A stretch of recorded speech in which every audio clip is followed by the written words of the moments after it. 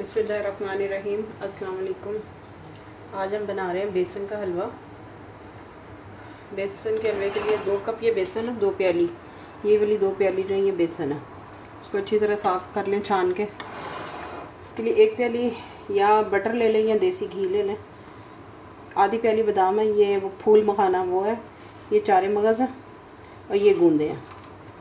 एक छोटा चम्मच जो है वो इलायची पाउडर और एक बड़ा चम्मच जो है टेबल स्पून वो सौंफ का, एक प्याली चीनी। ये गूंद और ये जो है, इनको पहले घी में फ्राई कर लेंगे, फिर बाकी चीज़ें बनाना शुरू करेंगे।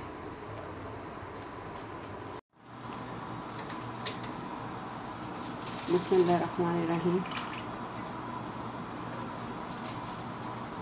घी गर्म हो जाए, फिर इसमें हम ये गूंजा डालेंगे। ज़रा घी गर्म हो जाए।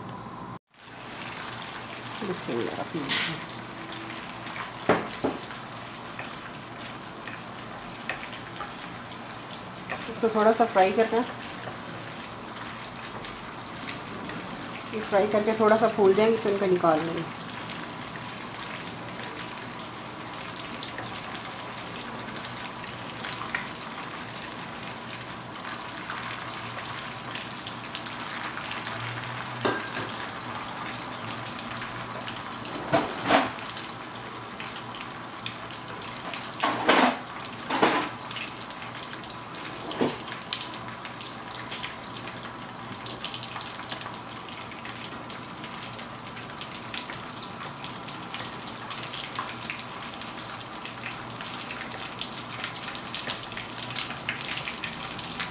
ये देखें आस्ता आस्ता ये फूल रहा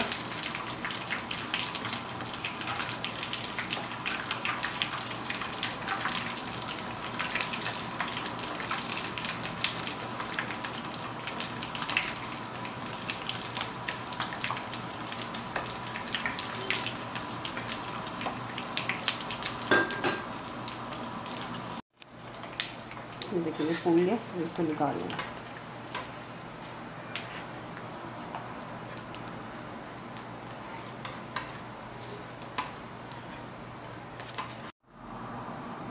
अब इसमें हम फूल खाने लगेंगे पहले आधे डाल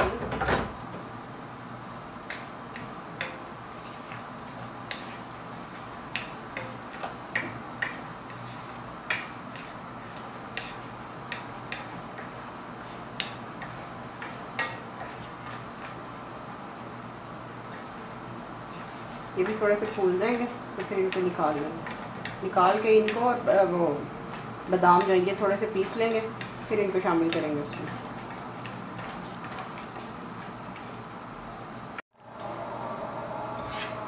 ये भी, कई दफ़ा ये फूल जाते हैं, कई दफ़ा चटकने की आवाज़ें भी आने लग जाती हैं। ऐसे हो जाए, थोड़ा सा कलर भी चेंज हो तो निकालना। ये ना जाली जाए करते करते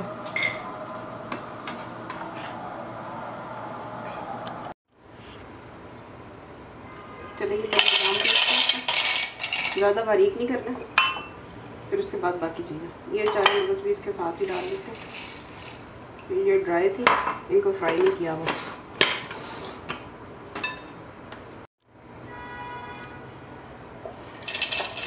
गुंजन में फ्राई की थी, इनको कर लेते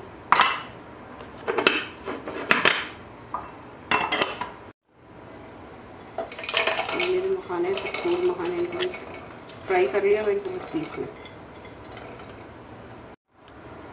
ये तीनों चीज़ें अपने पीस लिए कई लोग बादाम जो घी में पहले फ्राई कर लेते हैं। अगर आपको पसंद है तो आप फ्राई कर लें, मैं वैसे ऐसे ही ड्राई भी डालती हूँ। रही जो घी था, उसी में हम बेसन डालेंगे। दो प्याली बेसन है हमारा।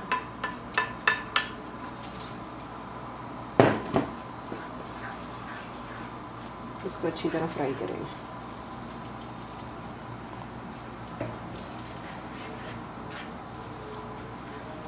बेसन में खुशबू आने लग जाए भुनने की तो समझे कि आपका भून गया बेसन। थोड़ा सा टाइम लगता है थोड़ा सा इसको हाथ चलाना पड़ता कि ये नीचे लग ना जाए।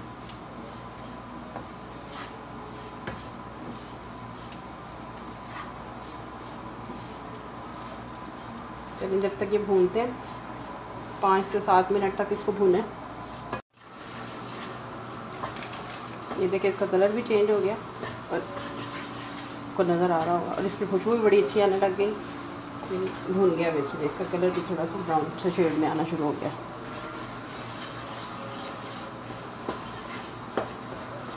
अब इसमें लाइट इलायची पाउडर डाल देंगे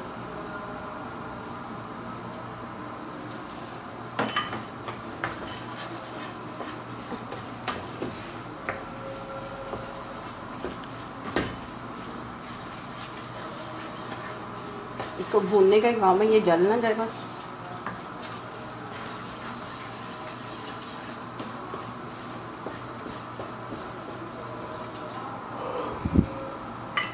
अब इसमें हम बादाम डालेंगे। बादाम आधे डालेंगे, बाकी आधे जो ऊपर डालने के काम आ जाएँगे। बादाम और चारे मगज हमने पीस के रखे तो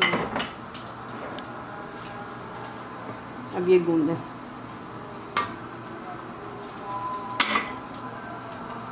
फूल महान है। और ये सौंफ। अब इसको अच्छी तरह मिक्स कर लेंगे। बेसन में चीनी आपने तब डालनी जब आपने चूल्हा बंद कर देना। चीनी जो है पानी छोड़ देती है। उससे फिर ये आपके हाथ में नहीं आएगा। बेसन काफ़ी देर तक गर्म रहता है। इसलिए चूल्हा बंद करके फिर आपने चीनी डालनी पहले इन चीज़ों को मिक्स कर लें।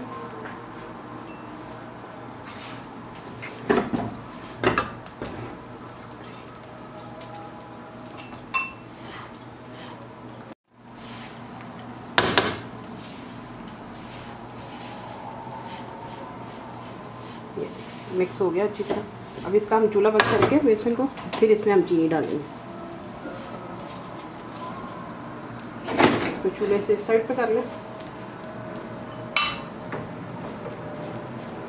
इसमें।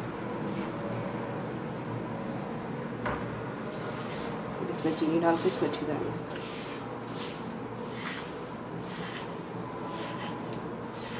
बेसन जो है वो देर से ठंडा होता है, इसकी अपनी गर्माहट में ये, इसकी चीनी मिक्स हो जाएगी। अगर आपके पास मोटी वाली चीनी है तो उसको पीस लें पाउडर बना लें थोड़ा सा।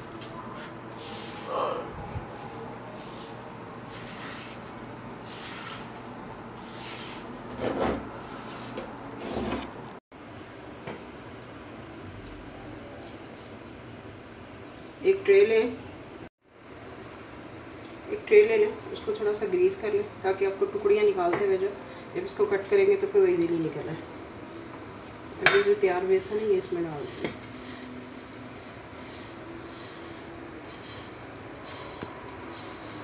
ड्राई फ्रूट आप और चाहें तो और डाल सकते हैं।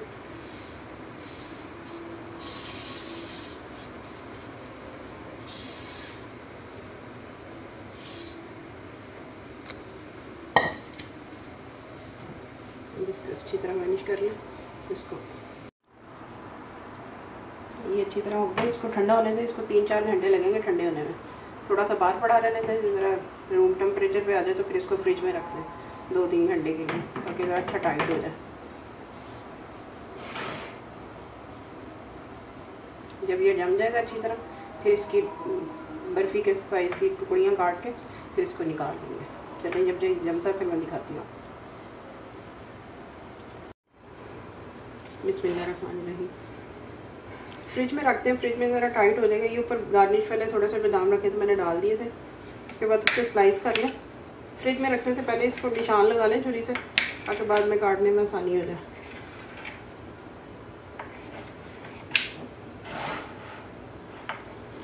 जब जम जाता फिर नहीं कटता।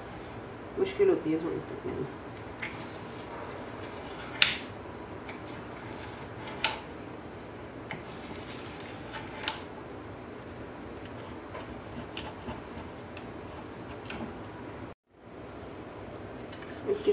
चम्मच की मदद से उसकी स्लाइस निकाल लें।